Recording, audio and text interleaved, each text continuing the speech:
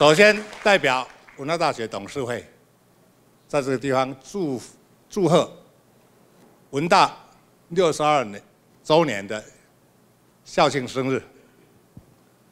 回想六十二年前，创办人张学云博士以为天地为天地立心，为生民立命，为往圣继绝学，为万世开太平。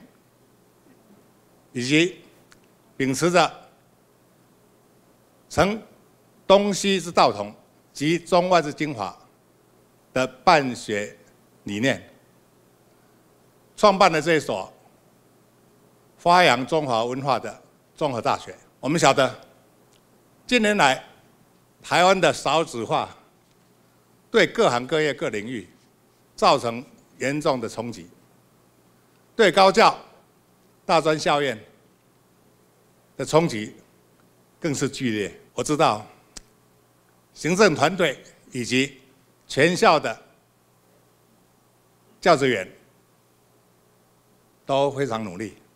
我们文大每个人的眼神充满着希望，充满着活力。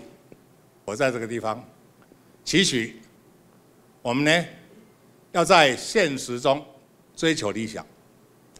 要在困境中追求卓越，要能够积极作为，勇往直前，绝不放弃。西方谚语有这么说：瀑布之所以雄伟，是因为它没有退路；喷泉之所以漂亮，是因为它有压力；水能够穿石，是因为有永远的坚持。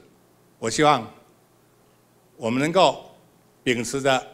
质朴坚毅的校训，携手共创文大的美好未来。谢谢各位。